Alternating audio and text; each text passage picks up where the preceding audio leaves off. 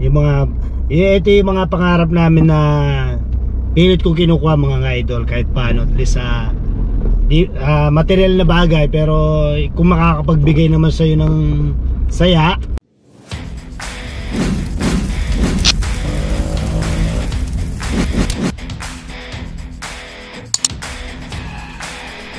Yan, yan mga idol. Kikita siguro nasa daan kami mga idol.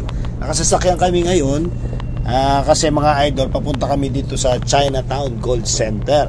Tayo titingin mga ngambas ng mga ginto, sakto sa budget, sakto sa budget namin mga idol. Samahan nyo kami.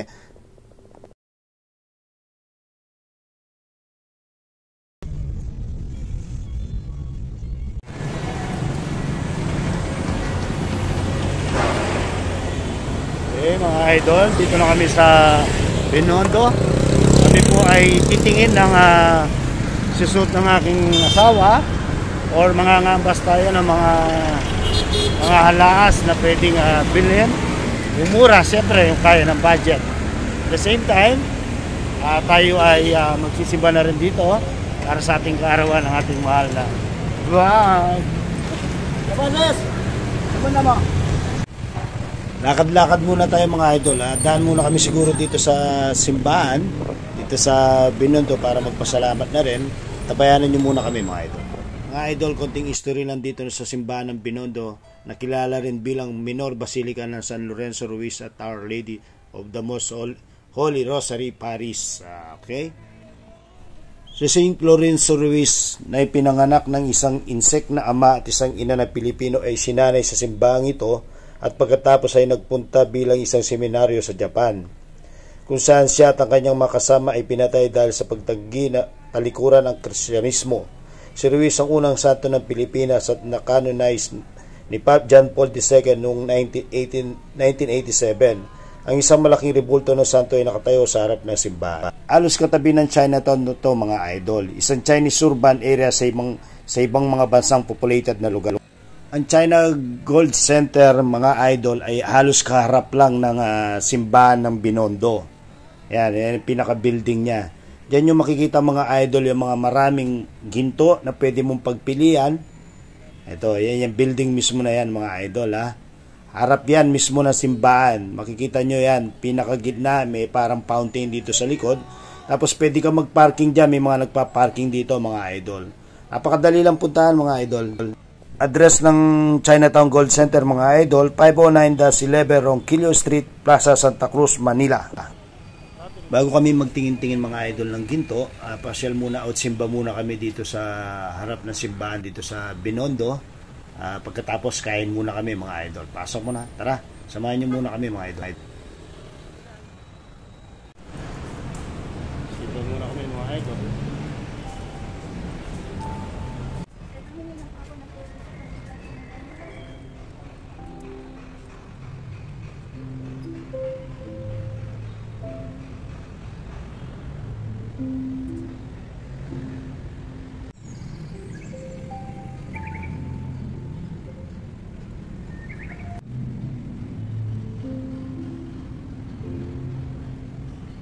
Hanap muna kami ng makakainan mga idol. Dito sa Manila, Chinatown, marami kang makakainan dito mga idol. Pipili ka. Ikaw lang mapapagod. Pero hanap tayo ng mga sakto sa budget. Sa nga pala, maraming Chinese sa food dito. Mga restaurant na puro Chinese. Uh, alaala ko nung bata pa ako. Laging ko kasama nanay ko rito. Uh, umahanap kami ng mga kakainan na mura. Oh, estero. Estero, bago magtulay din yun. Malapit. Bago magtulay, nandun na sa gilid sa kaliwa. Malapit na lang dito. Oo. Tapos sa pagbaba mo ng tulay, meron na doon. President Bayin. Okay. Thank you Kuya uh, Jason. Ano, Arti tayo ni Binondo. Sana po. Pero sana tayo ng idol. Dito sa Estero. Kakainan dito sa Ongpin. Hindi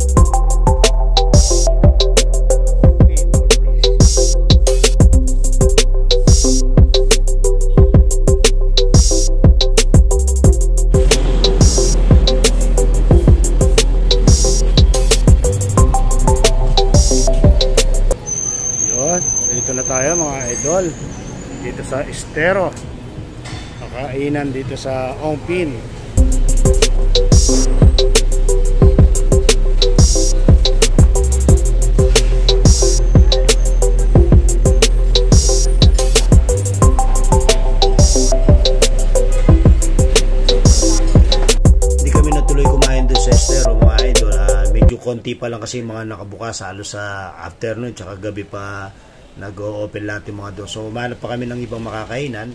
Lakad-lakad hanggang sa may hingal. Sakit nga lang sa paa mga idol pag di ka nasanay na naglalakad ng ma mahaba. Pero mag enjoy ka rito kasi ang dami mong pwedeng makita rito. Para ayan, dito kami sa Mr. Ube mga idol. Tara, samahan nyo kami.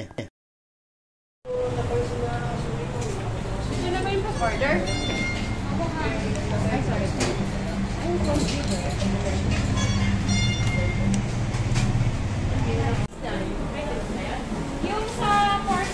May kasama ng greens yun, dalawa. Ay, dalawa. Wala sa. Wala po.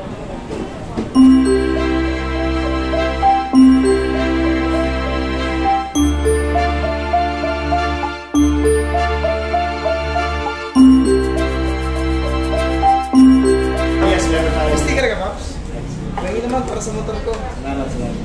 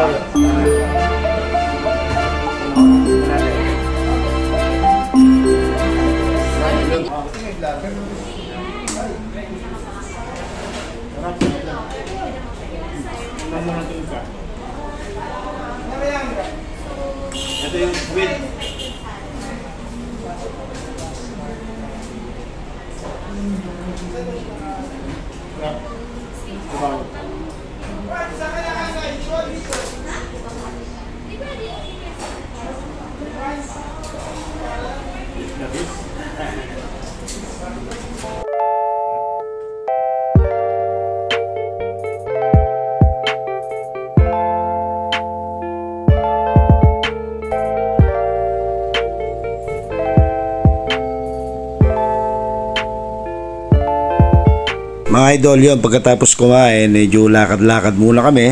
Ah, dito marami kang ma- makikita dito sa daan dito. Yan, papasok na kami sa call center mga idol. Sampay muna bago po, bago po kayo pumasok dito. Pwede naman punting na lahat muna, mga ambas muna kayo.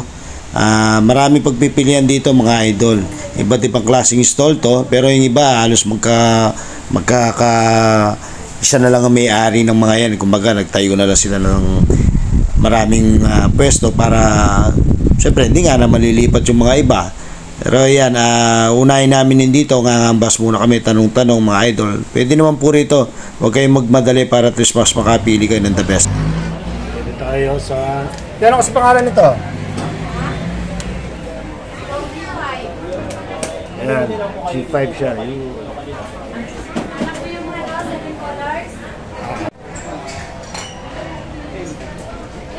Ito, ganito, magkano yan? 8.5.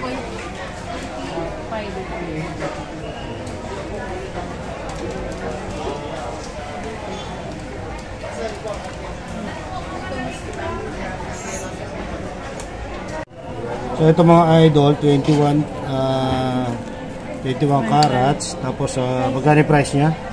24K plus. Nasa 24k. 3,350 per grams daw. Oh, 33 per gram sa 21.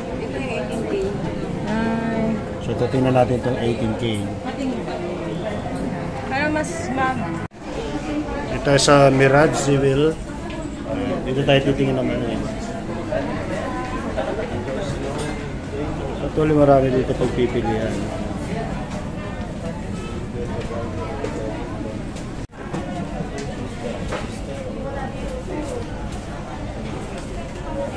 Ay, malit.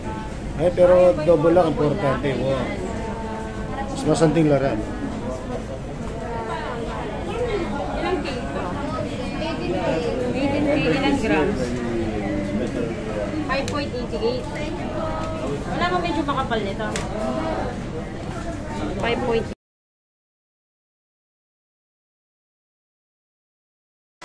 So ito yung mga sizes, ipakikita ni Madam. Ikaw, ano kaya mo? Ano mas ah, gusto mo dyan? Mas malinaw na rin. Mas makikita yung kulay. Ito Kamukha yun. din ang kwintas mo yan eh. May kwenta siyang ganito? Oo, meron. Pero hindi niya sinuot. Peter, no? 1.97. Mas mahal ang grams niya? Ilan to? Mas mahal ang grams ko. Small. Double lock din to.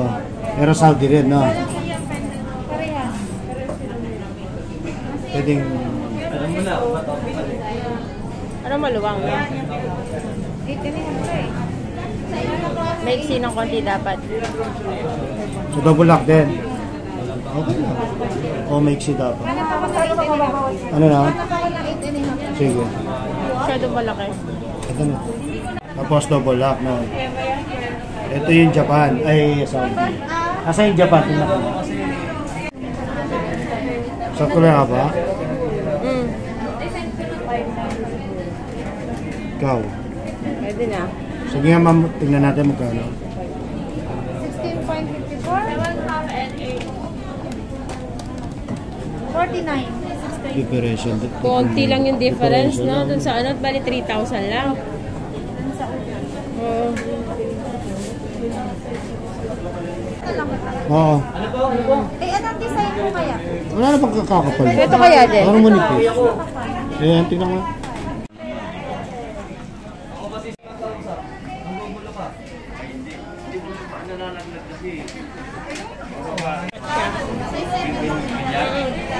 Hindi, ano yung ano niya tumutusok dito?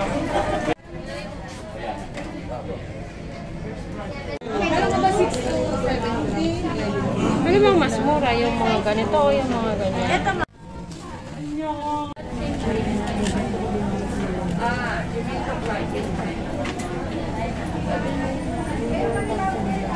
Kompleto yung sa'yo, no?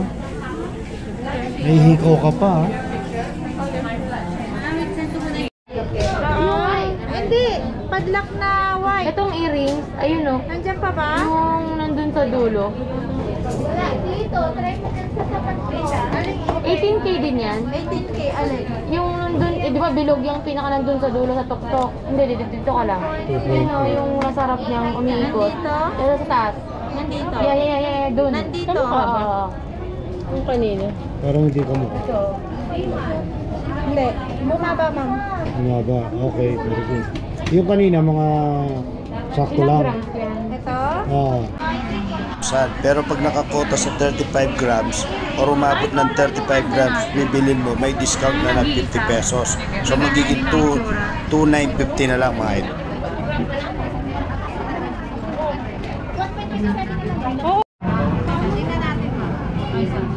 Oo, magkano yan? Okay. Yan. Ay, mas para mas maganda pa yung kanina. Diba? Vaccinate po ba yan? Ah,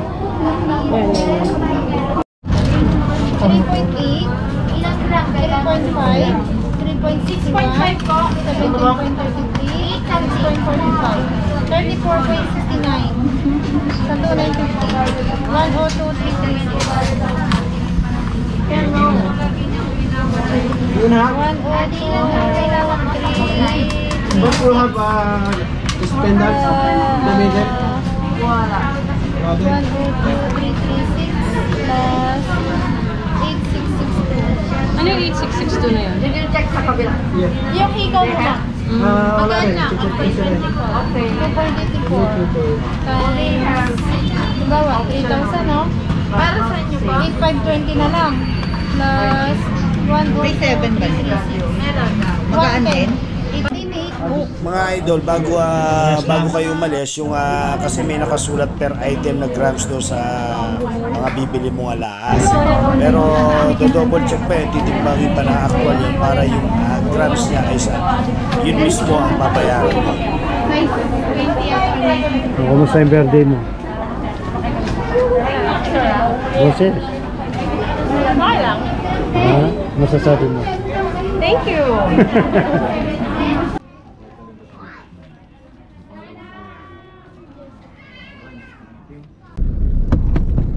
Yung bi- ah, birthday mo? Ah, masaya na, masaya. Kumusta?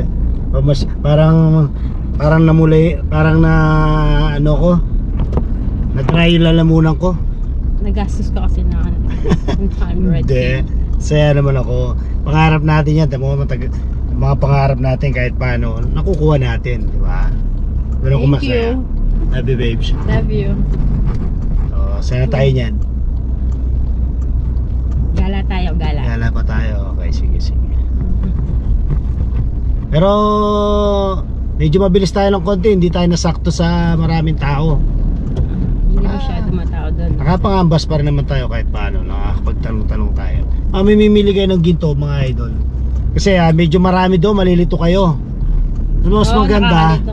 mas maganda, ah, pili-pili muna kayo. Kambas muna. Huwag kayo mag-stay doon sa isang lugar. Pinambili ng ano, alahas. Yung mga, eh, ito yung mga pangarap namin na pilit kong kinukuha mga idol kahit paano. At least sa di, ah, material na bagay pero kung makakapagbigay naman sa'yo ng saya, lalo na sa mahal mo, pwede mo gawin, di ba? Habang kaya mo, habang ma ika nga ma, binibless ka kahit paano ah, bigay mo yung gusto mo kasi pinagpagura mo naman yan mga idol di ba kaya go lang gawin mo Kain tayo ng ice cream.